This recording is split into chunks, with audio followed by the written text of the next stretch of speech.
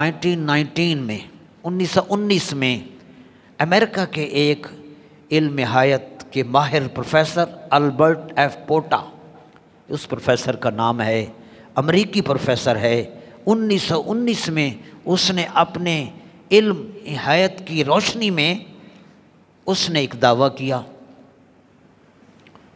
पेशगोई की प्रोडिक्शन की कि 17 दिसंबर 1919 को 17 दिसंबर 1919 को सूरज के सामने बाद सैारे आ जाएँगे।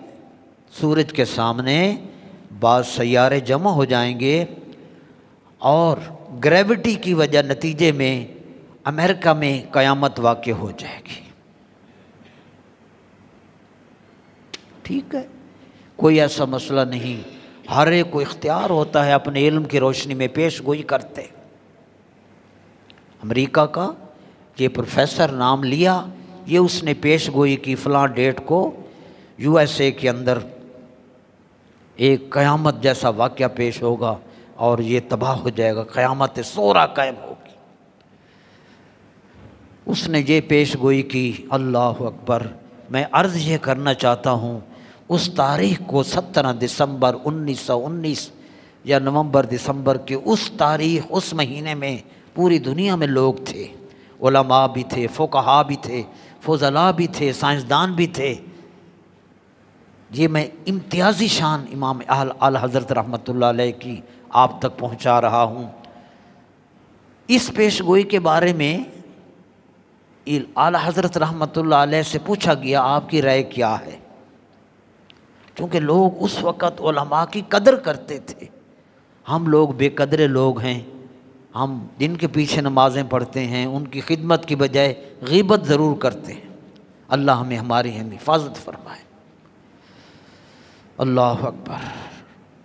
इमाम अहल सुन्नत रहमतुल्लाह ताला से उसके बारे में पूछा गया कि अमेरिका ने, के प्रोफेसर ने ये कहा है। अल्लाह अकबर।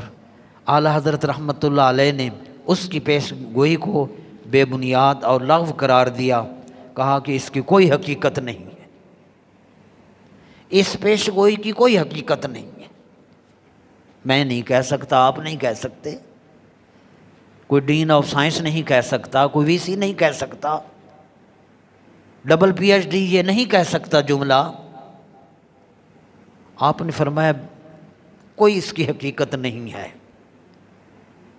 ठीक है जनाब? उधर वो पेश गोई है, इधर ये खबर है, सत्रह दिसंबर का इंतज़ार होने लगा। ठीक है जी? सत्रह दिसंबर का इंतज़ार होने लगा कि देखते हैं कि अब किसकी बात सच साबित होती है। बता ये रहा हूँ, दुनिया भर में फजला थे दुनिया भर में उलमा थे बस फिर सत्रह दिसंबर जब आई, तारीख वो आई, खुदा की कसम, उसने जो कुछ कहा था, सारी कायनात ने देखा। अमेरिकन प्रोफेसर ने जो कुछ कहा था, वो सब गलत साबित हुआ। और मोहम्मद अरबी के ग़ुलाम, इमाम अहमद रज़ा ने जो कहा, वो सच साबित हुआ। और फिर इस पर